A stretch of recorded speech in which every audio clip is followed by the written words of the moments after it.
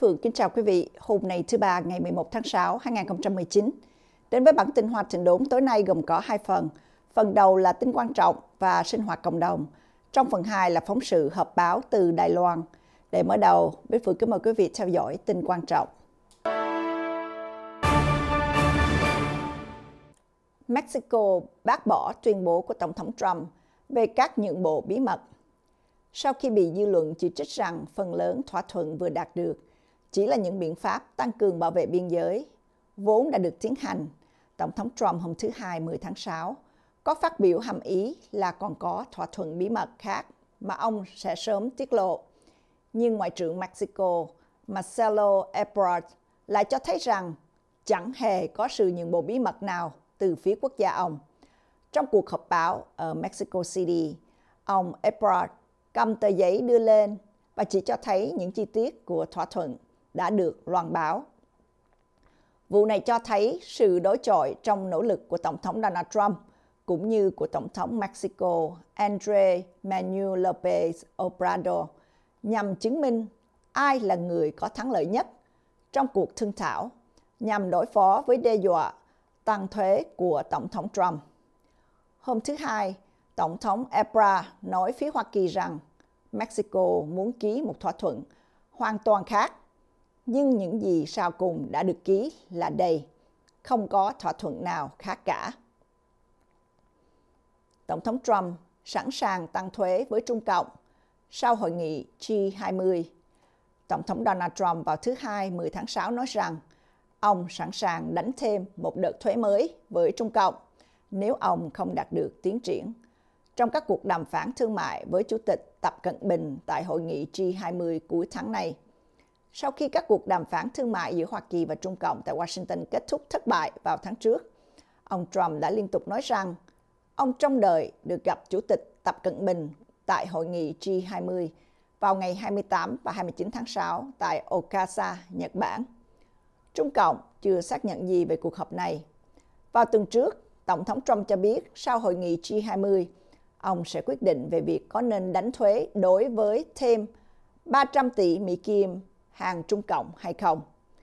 Lên tiếng trước phóng viên hôm thứ Hai, ông Trump nói ông vẫn nghĩ rằng cuộc họp với ông Tập sẽ diễn ra. Hoa Kỳ hiện đang đánh thuế 25% đối với 250 tỷ Mỹ Kim hàng Trung Cộng. Bộ trưởng Tài chính Stephen Mnuchin cho biết Tổng thống Trump có thể nới lỏng các hạn chế đối với Huawei.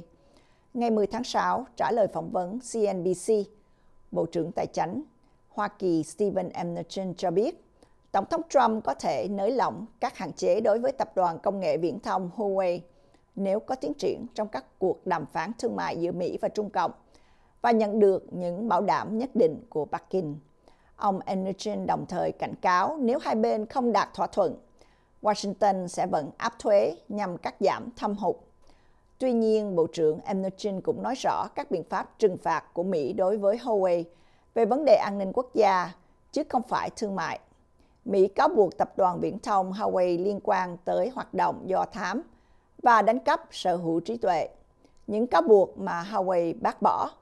Washington đã đưa Huawei vào danh sách đen – cấm các công ty Mỹ làm ăn với Huawei và gây sức ép để các đồng minh của Washington đóng cửa với Huawei. Ông Mnuchin đã có cuộc thảo luận về các vấn đề thương mại với Thống đốc Ngân hàng Trung ương Trung Cộng Dịch Cương bên lề hội nghị Bộ trưởng Tài chính và Thống đốc Ngân hàng Trung ương, nhóm các nền kinh tế phát triển và mới nổi hàng đầu thế giới G20 tại thành phố Fukuoka của Nhật Bản. Ngoại trưởng Pompeo không hề nhắc đến vai trò của con người như là tác nhân hàng đầu đã làm thay đổi tình trạng khí hậu như hiện nay. Ông nói các xã hội con người tái cấu trúc lại, con người di dần đến các nơi khác nhau. Chúng ta phát triển kỹ thuật. Tôi tin chắc là nhân loại sẽ làm chuyện cần thiết khi khí hậu thay đổi. Ông Pompeo cho là không chỉ có kỹ thuật mới là giải pháp đối phó duy nhất.